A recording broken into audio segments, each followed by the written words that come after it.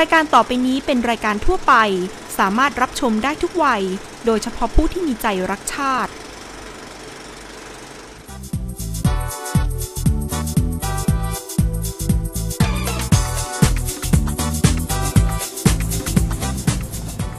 สวัสดีครับท่านผู้ชมพ่อแม่พี่น้องที่เคารพ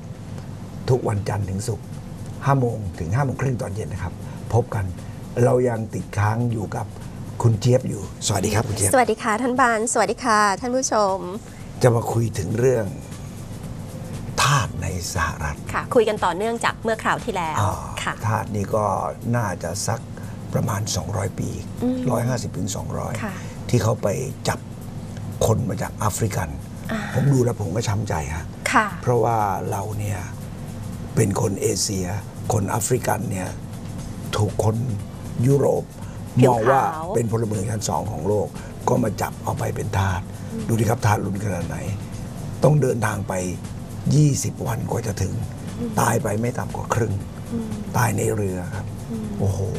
ตอนนั้นเขามีการล่าอาณานิคมนะคะ แล้วก็ใช่ครับรู้สึกว่าจะมีการเหยียดสีผิว ใช่ครับเพราะฉะนั้นเนี่ยเอ่อในในช่วงในช่วงศตวรรษนั้นเนี่ยคนผิวขาวเนี่ยมีอำนาจมากครับค่ะ แล้วก็เขาเขาถึงเขาถึงเอ่อให้คนผิวดำใช่ไหมครัคะบมามามาเป็นทาสใช่รับใช้อ่าอืม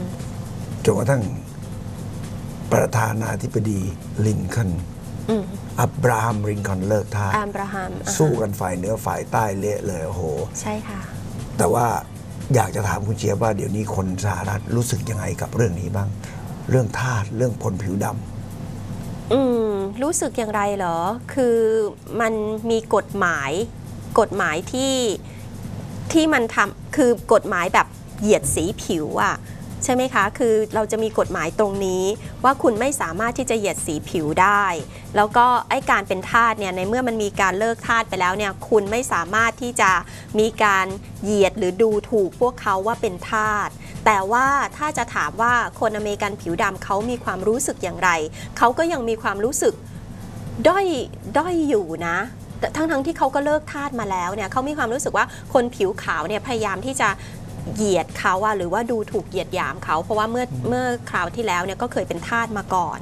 อันนี้อันนี้เรื่องจริงนะคะ อืมคือยังไงเขาเรียกว่าเอ่อ discriminate you know discriminate ใช่ไหมคะอ่าคือคือตรงนี้ เพราะฉะนั้นนี่เอิ่มมันก็เลยมันมันมันก็ยังมีตรงนี้อยู่อะท่าน นะคะระระหว่างระหว่างผิวอะไรพวกนี้อย่างถ้าไปเรียกเขาแบบนิโกรเนี่ยเขาโกรธมากำเลนี่ยก็เลยนะจะถามตอนที่ผมอยู่อเมริกาเขาห้ามเรียกนิโกรเลย ค่ะเขาโกรธมากแล้วค่ะใครเรียกว่าแบล็กเหรอครับค่ะ black ค่ะ อ๋อนิโกรนี่ Black โกรธมาก people เลยอ่าอ่าฮะใช่เขาถือว่าแบบไปดูถูกเขามากเหยียดหยามเขามากอ่า ค่ะ เพราะว่าเมื่อสมัยก่อนเนี่ยที่เขาเป็นทาสเนี่ยก่อนที่จะมีการเลิกทาสเนี่ยเขาใช้คำว่า negro อืมอย่าคือแบบบ่งบอกเลยว่า เฮ้ยคุณเป็นทาสอ่าฮะ แต่อเมริกันเนี่ยตั้งแต่ที่โคลัมบัสค้นพบ แล้วก็พัฒนามาเรื่อย จากไล่อินเดียนแดงด้วยรถไฟกองเกวียนค่ะมาจนกระทั่งถึงเลิกทาสแต่ว่ากฎแห่งกรรมมีจริงนะครับค่ะตอนนี้ประธานาธิบดีสหรัฐเนี่ยเป็นคนผิวสีอะไรไหมเอ่อโอบามา Black อ่าเกิดที่อินโดนีเซียอ่าเห็นไหมครับ แต่ว่าเป็นเป็นคนอเมริกันอืมก็กลับมาเป็นผู้นำ สหรัฐที่เป็นผู้นำโลกแล้ว อืมใช่ค่ะ เพราะฉะนั้นเนี่ยคน black people เนี่ยก็เลยแบบกลางเลยไงอ่าว่าเออประธานาธิบดี you know I you know he's black so I'm black you know so อ่า don't talk to me like you know I'm black or something อ่า แบบอะไรแบบเนี้ยค่ะ มีคนขาวแต่งงานกับผู้หญิงคนขาวแต่งงานกับผู้ชายคนดำมีเยอะไหม เอิ่มผู้หญิงขาวแต่งงานกับดำไม่มีค่ะ แต่ไม่เยอะค่ะอ๋อ ค่ะ มีนะ มีใช่ไหมฮะ มีค่ะ อ่า แต่ไม่เยอะค่ะอ่าฮะผู้ชายขาวแต่งกับผู้หญิงดมีค่ะ แต่ก็ไม่เยอะำอืมไม่เยอะนะส่วนใหญ่ก็ยังค่ะ จะอยู่ในนั้นนะครับ ใช่ค่ะ คือคน ขาวกับขาวดำกับดำอ่าแล้วคนที่เอ่อที่รายได้ต่ำยังเป็นคนดำอยู่เยอะไหมอืมอันนี้ไม่อะค่ะ ก็มีผสม ส่วนมากก็มี Mexican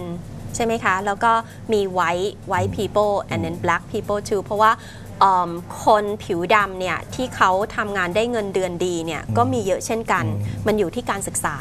อืมค่ะอันนี้อันนี้พูดถึงการศึกษาเลยนะครับอือฮึคุณเจี๊ยบทราบไหมว่าคุณเจี๊ยบเนี่ยเกือบต้องพูดภาษาเยอรมันแล้วอ่าทำไมคะอ่า ตอนที่เยอรมันเขาเข้าอพยพไปอยู่ในอเมริกาเนี่ยเขาเป็นคนกลุ่มใหญ่ทีเดียว มีการโหวตกันว่าจะใช้ภาษาอะไรเป็นภาษาประจำชาติอ๋อเหรเอออคะ เยอรมันแพ้เสียงเดียวเองอืมอังกฤษชนะเสียงเดียวเองไม่งั้นเราได้พูดเยอรมันกันแล้วนะค่ะ เยอรมันเข้าไปเยอะฮะหลายเมืองที่ชื่อเป็นเมืองแบบของเยอรมัน อย่างเซนต์หลุยส์อย่างเงี้ยก็พวกฝรั่งเศสมาอยู่อ่าอ่าแต่เยอรมันเนี่ยหลายเมืองผมจำไม่ได้แล้วตอนเรียนเนี่ยเขาก็เล่าให้ฟังว่าเป็นยังไงมายังไงเพราะผมไปเรียนเนี่ยเขาให้เรียนประวัติศาสตร์ก่อนเลย แล้วจะรู้ว่าเป็นยังไงอะไรยังไงอะแล้วก็ เขาฉลาดมากครับให้เรารู้ประวัติศาสตร์เขาโดยที่ให้ไป present หน้าชั้นเลย present หน้าชั้นเลย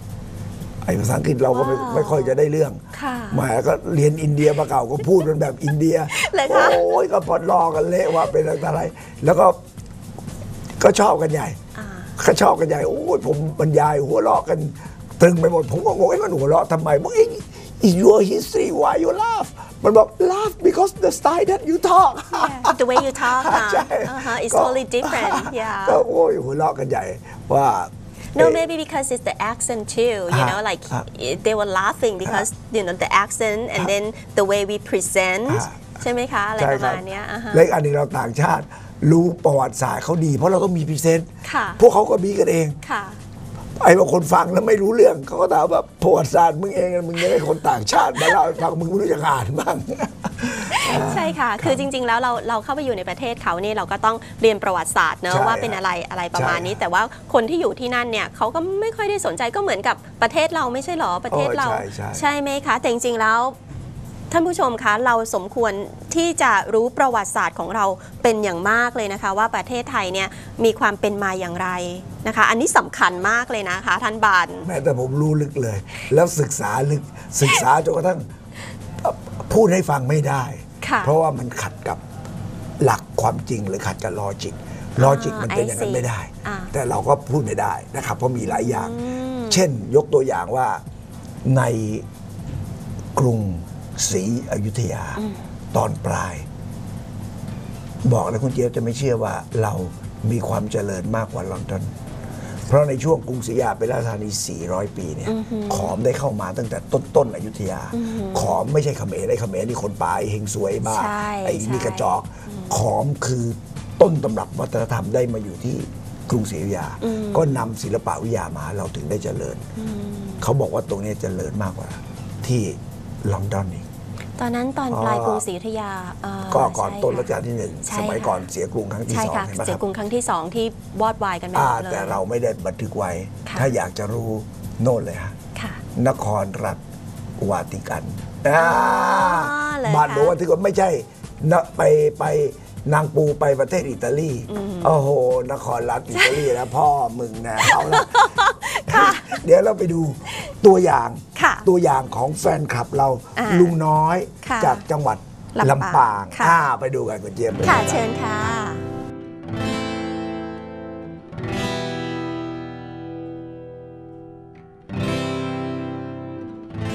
ค่ะ สวัสดีสวัสดีทั้งองค่ะท่านเลยสวัสดีค่ะอะเดี๋ยวให้คุณป้าพูดเลยว่าเรื่องราวมันเป็นยังไงบ้างหก็ลังจากตอนนั้นวัเขาก็ค่ะแบบเข้าห้องน้ำนะคะ เข้าห้องน้ำแล้วก็แบบ ไม่ได้ล้มนะคะค่ะเขาไม่ได้ล้มแต่เขาแบบเขาเดินไม่ได้เลยอืมนี่เราก็พาเข้ามาก็ออกมาก็เรียกรถมารับไปโรงพยาบาล ทั้งวันวันนั้นจะไม่ขี่เลยนะค่ะพอถึงตอนเย็นสูบฉี่ออกมีกิโลกว่านะโอ้โห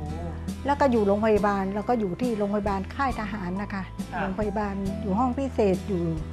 แล้วก็กินอะไรไม่ได้เลย นั่งก็ไม่ได้ พูดก็ไม่ชัด กลืนน้ำลายก็ไม่ได้ ค่ะว่า เราคิดว่าเขาจะไปแล้วล่ะ คือว่าเราอยู่ที่นั่นก็ขอให้เขาใส่พวกกลูโคสเอาอะไรให้นั้นเราก็ย้ายย้ายมาเขลางค่ะย้ายมาที่เขลังเขลังก็อยู่หลายวัน ก็บอกว่าเขาช่วยได้แค่นี้นะ ย้ายไปศูนย์เธอเครื่องมือไม่ครบค่ะ คนกินไม่ได้ลำบากนะ แต่แต่โรงพยาบาลนี่ก็ใส่สายยางที่ที่จมูกให้นะคะ เราเขาก็ชี้เห็นขนมเปียกปูนเขาก็ชี้เขาอยากกินเราก็ให้ มันกลืนไม่ได้แม้แต่น้ำลายค่ะ ช่วงนี้แกไม่ทำงานนะคะค่ะไม่ทำงานแล้วก็มีอยู่วันหนึ่งเขาก็แบบว่า อาการไม่ดีอะเราก็ไปโรงพยาบาลกลับจนดึกนะค่ะ เขาก็ส่งไปที่โรงพยาบาลเมืองนะคะค่ะ เขาบอกว่าคือเครื่องมือเขาคงไม่ครบมันก็บอกเนี่ยอะป้าป้าไปก็แล้วกันพอมาอยู่โรงพยาบาลเมืองเขาก็บอกว่าเอเอากลับไปดูแลกันเองเถอะนะคะอย่างเงี้ยป้าเอากลับ ป้าไม่รู้นะว่าเขาจะอยู่นะ คิดว่าเขาจะไปไม่งั้นป้าจะถ่ายไว้ให้นะถ่ายรูปเดี๋ยวนี้ก็ง่าย คือเขาใส่จมูกอะค่ะ หยอดนะกินไม่ได้ ในขณะเดียวกันก็เราก็ประคบประหงมทุกอย่าง พอมีคนแนะนำสมุนไพรก้านตองเราก็สั่งที่แรกก็ขวดเดียวเนาะค่ะ แล้วก็สั่งเรื่อยมาที่แรกสั่งที่คนอีกคนนึงค่ะ นะ แล้วก็สั่งที่หนูแล้วก็ ที่หลังก็สั่งให้เขามาส่งที่บ้านนะค่ะก็ดีขึ้นน่ะ ดีขึ้นระบบขับถ่ายหนูลองคิดสิสามวันไม่ถ่ายเนี่ยท้องเนี่ยบวมเบอร์เลอร์เลยค่ะทีนี้ถ่ายดีฉี่ก็แดง ตอนนี้ฉี่ก็ดีปกติมันก็แล้วเราก็สบายใจเนาะค่ะคือว่าต้องบอกว่าตอนนั้นที่มาสัมภาษณ์คุณป้ากับคุณลุงคุณป้านี่ถอดใจเหมือนกับถว่าอไม่นมีใจกำลังใจอะพอป้าแล้วพูคุณดป้าแล้วก็น้ำตาไหลใช่ใช่ตอนนี้ดูสดใสขึ้นอ่าค่ะแล้วก็แล้วเขาก็ดีขึ้นเราก็สบายใจแต่นี้ตาลุกขึ้นเดินเตอะ ตาลุกขึ้นกำลงตาลุกขึ้นน่ะ ตาลุกขึ้นก่อนเนาะโอ้โหโชว์ด้วยค่ะ ต้องบอกว่าอะข่าวที่ตาเดินแล้นะวตาเดินพอแล้วตาอะเดี๋ยวลองเดินเออเดินอ่าอ่าอ่าอ่าโอ้โหอ่ามหัศจรรย์จริง ๆ อันนี้เรียกว่าเป็นปาฏิหาริย์ก็ได้นะคะคุณป้าแล้วว่าโชคดีนะพระพระช่วยด้วยนะ ขอให้สิ่งศักดิ์สิทธิ์ช่วยนะคะ เพราะว่าป้าก็ถือพุทธนะค่ะคือพ่อป้าเป็นแขกนอกนะแต่ แต่ป้าถือพุทธพ่อป้าเป็นเป็นแขกไม่กินของมีชีวิต อ๋อ